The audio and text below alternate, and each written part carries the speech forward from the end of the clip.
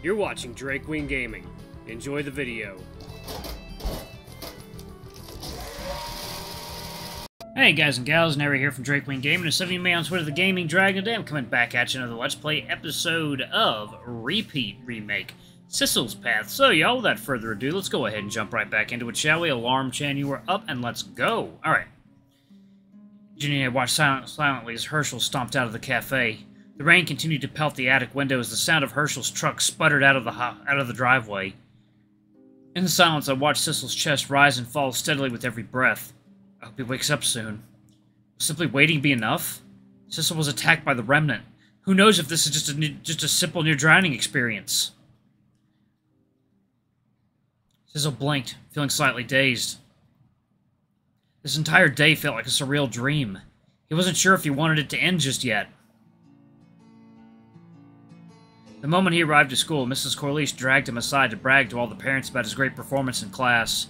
She was simply being a supportive teacher and was in no way showing any favoritism. Mrs. Corliss emphasized how Sissel will undoubtedly ace the, the culinary competition with flying colors. When her nearby mom asked Mrs. Corliss if she was playing favorites, she promptly told her to shut up. Uh, Sissel may not be the best in academics, but his work ethic and sheer determination is something all students should strive for. Sissel smiled awkwardly and tried to hide himself behind Mrs. Corliss. Getting suddenly dragged into the, into the spotlight felt uncomfortable, but the way Mrs. Corliss spoke about him made Sissel's heart twinge with a bit of pride. Well, if this if this kid's really that impressive, where's his contest entry? There was a nasty edge to the woman's voice. Sissel flinched and glanced around aimlessly. Oh, shit! What's the matter? I, uh, I think I might have left it at home. Impressive indeed. I thought this kid was supposed to be smart. A wave of panic washed over Sissel as he made a dash towards the door. I think I can run back and get it before the contest starts. He was suddenly yanked back by Adrian's arm with a laugh. You could probably just give your mom and uncle a call instead of running all the way back home. Aren't they on their way to the school anyway? It's Visitor's Day after all. Oh, right. It really occurred to him that he could call home now and expect someone to pick up, or have a home to begin with. Sissel fumbled with his phone and dialed the unfamiliar mom number in his contacts. His confusion only rose when he heard Cecilia's ringtone go off behind him. Mom? Sissel turned around to see Cecilia and Herschel uh, putting a familiar cart through the school doors with matching grins on their faces. Yo! Mom? H Herschel, you guys came! Sissel's eyes fell on the large metal cart they were pushing. You guys brought my sculpture too? You worked for weeks on your entry, hun. I could just watch you leave it at home and fail. Sissel bolted up to her with relief. There was a moment of hesitation, then he leapt into her arms in a big warm hug. Thanks for saving my ass, Mom. That's my job, isn't it? It'd be nice if you required less ass saving in the future, though. They all peeked inside of the cart. Inside was Sissel's glorious chocolate sculpture of the Capitol building, standing in perfect condition and carved with a painstaking level of detail. The woman from earlier scoffed. That's it? My son's entry is much more befitting of victory than this simple hunk of chocolate. Cecilia squinted at the woman, her smile curling into a grimace. Sissel watched her nervously as she stood up as she stood up straight and stared right into the other parent's eyes. My son worked night and day to make sure his entry was in tip-top shape. What kind of store-bought crap did your kid bring this time, Helen? I don't know what you're talking about. At least my child got a proper upbringing with a real father, unlike your son's whore of a parent. Hey now! Sissel felt his mother place a hand on his shoulder. Oh god. Well, my kid can beat up your kid. And probably you too. Ain't that right, son? What? I, I, I guess? Hell, I could beat you up. Ready to put your money where your mouth is, lady? I'll scramble you like an egg. Uh, uh, sis, uh, stop picking fights with the other parents. You're gonna get yourself kicked off campus again. Yeah, but I'll kick her ass first. Alrighty, let's take a moment to chill and... At this point, Mrs. Corliss jumped in and quickly escorted the other parents out of the hallway before an actual mom versus mom fistfight broke out. One second, y'all. It is water time. Sissel watched in disbelief as Cecilia flipped the other woman off while she retreated down the hall. Well, before you get arrested for assault, I'm going to take Sissel's sculpture down to the ballroom for the competition. It'll be another hour before the competition actually starts. Sis. I mean, Sissel. Why don't you show your mother around and show off the work from your other classes until then? Hey, it's fine. I can carry the sculpture myself. Herschel laughed and poked him on the nose. Nah, I've got, I've got this handled, kiddo. Why don't you take it easy for a while? Sissel, yet again, was struck by how strange it felt to be taken care of like this. He gratefully waved Herschel goodbye as he watched him push the cart away. Turning back to his mom, Sissel was relieved to see she had calmed down a bit. Just a bit. The nerve of that woman! Can you believe her? Oh, uh, you didn't have to wage war on that other lady like that, Mom. It's just chocolate. I was defending your honor. Her loud declaration drew the eyes of several people in the hall. Sissel felt his face heat up, but couldn't help smiling. Cecilia ruffled his hair like a puppy before poking him in the chest. Listen, nobody talks down to my son without a sharp word or two. Or a fist. I could, if you could take a few harsh words, you know. I know you can take it, but that doesn't mean I will. You're my kid. I'm allowed to be proud of you, aren't I? Oh. Felt his face flush with a mix of embarrassment and pride. Yeah, sh sure. Uh, come on, Mom. Still gotta show you my work from my other classes before the contest starts. Cecilia's proud smile was the most heartwarming sight in the world as she let her son drag her around the school. Lead the way, hun.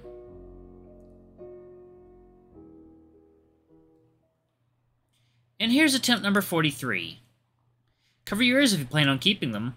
Ginny took a deep breath, aimed Herschel's trumpet inches away from Sissel's face, and blew hard. The room shook as the fear of a trumpet violently convulsed the attic walls and eviscerated my eardrums. I clamped my hands around my ears and glanced at Sissel. He was still sleeping peacefully, blind and deaf to the world around him despite the murderous trumpet and roaring rainstorm outside. Ginny finally dropped the trumpet inside. Damn, no response? We've tried everything we could think of since Herschel left. At this point, I don't think he's ever going to wake up. A sense of dread hung over me as I hovered over Sissel's sleeping body. It doesn't feel normal. You'd think he'd at least react. Do you think that ghost did something to him? Ginny tapped her chin thoughtfully. I can't say I'm too familiar with all this ghostly business. Maybe we should perform an exorcism. I seriously doubt that would work. Hmm? I lifted one of my legs. Was the floor getting wet? Water was seeping unnaturally through a crack in the windowsill, soaking into the attic floor. I jumped back behind, behind Ginny as the puddle of water spread with a mind of its own. Slowly, a familiar figure rose from the water like a cryptic sea creature rising from the depths. Hello again, young one. Oh, whew, it's just you. For a second, I thought it was the remnant. Ah! Ginny suddenly leaped forward and shoved a handful of salt into the wish's face. Some of it stuck to her hair while the rest fell uselessly on the floor. What was that supposed to be? Ginny jumped back behind me with a glare. An exorcism, obviously! With Walmart table salt. I like how she knows it's Walmart table salt. Whoa, calm down. This is a friendly ghost. She just rose out of the water like a knockoff monster from the ring. You can't honestly expect me to be chill with this. It's fine, it's fine. This lady saved me and Sissel from the faceless ghost a few times. We can trust her. Indeed. I intend to help. She turned toward. I turned towards the black lady of the the black lady of Bradley. She casually dabbed the salt off of her face like a cat. So uh, you're here to make sure Sissel's all right, right? How do we how do we help him? The wish turned its head towards Sissel lying peacefully in his sleep. He will not wake up. The remnant has pulled him into a deep sleep, trapped in a dream of Sissel's own making. He will not wake up unless he himself wants to. Ginny eyed Bradley suspiciously and approached her at Sissel's bedside. Must be one hell of a dream. Correct. It is a perfect dream. A perfect world where all his pain and insecurities are at ease. Where all his wishes are true. He's living in a world where his family is alive and well, raising him through a loving childhood he never had in the waking world. All the opportunities he had missed and longed for are his for the taking. Now his regrets are wiped from existence. Second, y'all. Water time. The purest happiness. Ginny and I exchanged confused glances as we tried to process the wish's words. So, to wake Sissel up, he has to want to wake up? What can we do to help? Bradley lifted her thin skeletal hand and gently placed it on Sissel's forehead. I will need your help. The remnant has grown stronger. I cannot forcibly break through Sissel's dream. However, I can project a strong memory from one of you into Sissel's dream. Bradley paused. A strong memory. A memory that reminds him of what matters in the waking world, and will convince him to voluntarily wake up from his perfect dream. Bradley turned towards us, an expectant glimmer in her eye. Do either of you have the strong memory Sissel needs? The room was quiet for several minutes as I racked my brain for something useful. Chewing on my lip, I thought back to all my times with Sissel. Do I have anything significant enough to wake him up? I, uh, I have a lot of happy memories of Sissel in them. Like our camping trip or that time we stayed at the cafe together. Hell, maybe even our kayaking field trip. None of those memories will suffice. Sissel is already as happy as he could possibly be in his dream. His voice was blunt and to the point. I flinched, my composure wavering as I thought hard again. I have plenty of other memories with him, too. Like the times we talked about his ambition to be successful and making Herschel happy, or his longing to have a family. That is just simple talk. Too weak. Bradley examined me carefully. I could feel the gaze of her sharp eyes, even from underneath her curtain of black hair. You are unlikely to have anything of substance to provide. You've only known Sissel for a little over two weeks. What are you to him? An infatuation? A crush? Not have to wake him from an ordeal like this. You are irrelevant here. My heart plummeted and I felt very sick to my stomach. Her words were harsh, but the truth of them hurt more than anything else. I could only nod, stone-faced, and took a seat in the back of the room. Ginny glanced at me with a worried expression, but I couldn't meet her eyes. With a sigh, she stepped up towards the wish and offered her hand. I think I might have something. Bradley took her hand, her thin, bony fingers slowly wrapping around Ginny's small hand. The room was quiet as Bradley brushed her fingers across Ginny's palm. Yes, this will do. Now close your eyes and focus on the things you felt in this moment. It will be key to tethering Sissel back to the waking world. Ginny gulped and gave a determined nod. Bradley placed her hand, her other hand on Sissel's forehead. Let us begin.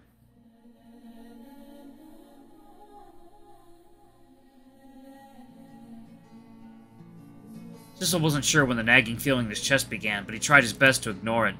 This time he was spending this time he was spending with his family. He wasn't going to let anything distract him from enjoying it. Sissel smiled and tugged on his mother's sleeve as he led her through as he led her through Girani's classrooms. And this is the art room, where I helped Mrs. Corliss with a few of her sculpture classes. I didn't think sculpting would be very useful in this culinary stuff I was doing, but I'm glad I learned it. Cecilia scanned through all the art pieces on the display with a wide smile on her face. Sissel felt his stomach flutter when Cecilia looked impressively at his own sculptures on the display. Excuse me. You've gotten good since the beginning of the year, and you've grown a taste for architecture too, huh? Nice job. Nice job, sis. Sissel's face flushed and he grinned. Thanks, Mom. Wait a second. Cecilia jabbed a finger at a particular clay model in Sissel's section. That's a penis. What? Oh, that, uh, I made that one. It's supposed to be a model of the Gherkin building from London. Cecilia nodded proudly. My god. That's a penis. She barked a laugh at Sissel's red face as he dragged his mother out of the art room. Jeez, you're a grown-ass woman. Can't you be a little more mature? It's my job to embarrass you from time to time. Or all the time, depends on my mood. Whatever. Anyway, let's move on to the next class already. Suddenly, the nagging feeling in his stomach twisted into a knot. Sissel doubled over in pain. Sis, are you okay? This Sissel staggered onto his feet and nodded. Yeah, I don't know what came over me. Huh? The world suddenly went white. He realized he was wearing his normal clothes, too. What was going on? Sissel stumbled around frantically. Where was his mother? He couldn't see anything. He, he couldn't... Mom! Mom! Where did you go? Even he was surprised by the sheer anguish in his voice as he called out into the empty white. His chest was racing with fright as he ran through the strange nothingness. He was just getting to know her. He didn't want to live without his family again. He needed to find her. I'm sick of waiting. Oh. A familiar voice suddenly echoed faintly through his empty world. Sissel turned around just in time to see a small figure running past him. Was that... Sissel's heart lurched against his chest as he slowly turned towards the direction the child was running towards. He... he remembered this. He remembered coming to this window every day, long ago. It was a place of comfort that he had forgotten about. As he approached, he could make out a familiar figure behind the glass. He remembered now. This was the place they first met. Ginny grew up in a room It was a plain room, with dull gray walls and shelves stacked with all the books she could ever want. Every day she would make herself comfortable with the light in the window and read until the day was done. It was not as if she had anything else to do. Ginevra Corliss was a rather useless, defective girl. She wasn't allowed to leave this room. Sometimes she'd look out the window and watch the people passing through the streets. She'd often notice a small beggar boy, hardly older than she was, talking to anyone who would listen to him. Sometimes the grown-ups would give him some food, sometimes they would give him some pocket change, more often than not, they'd just ignore him. Jenny always felt a little bad for him, but there wasn't much she could do to help. She was just a useless, defective girl after all. She wasn't allowed to leave this room. One day, she realized that she didn't have to. The window slammed open. Hey, you! Uh, flower girl! You can read, right? Teach me! The book Jenny was perusing dropped from her stunned hands. What? The little boy scowled and wiggled his little feet from his position on the windowsill. Jenny was utterly bewildered and wondered what she what she should do. She had never spoken to anyone her age before. Um, shouldn't you ask a real teacher your parents to teach you? I'm sure they do a better job. Tiny the boy's tiny scowl grew impatient. I don't have any. If I went to school, they'd probably send me back to the orphanage or some crap. Why can't you teach me? I see you in this window every day with your face buried in a book. You look smart enough to be a teacher, just do it. Jenny paused for a moment, took a look at the empty room she was trapped in every day with only books for company. She sighed and shrugged. Not like I have anything better to do. Alright, I'll be your teacher. The boy pumped a tiny triumphant fist in the air. Yes! Thanks, Teach. I promise I'll make it worth your while. Oh. The boy's name was Sissel. He wasn't the brightest bulb in the box, but he worked harder than Jenny could have imagined someone his age could. I'm gonna go ahead and pause it right there, y'all. Thank y'all so much for watching. Don't forget to like, comment, subscribing, that notification bell. Leave a super thanks or tip if you can. It always helps. Until the next video, I love you all. I'll see you next time. Bye-bye.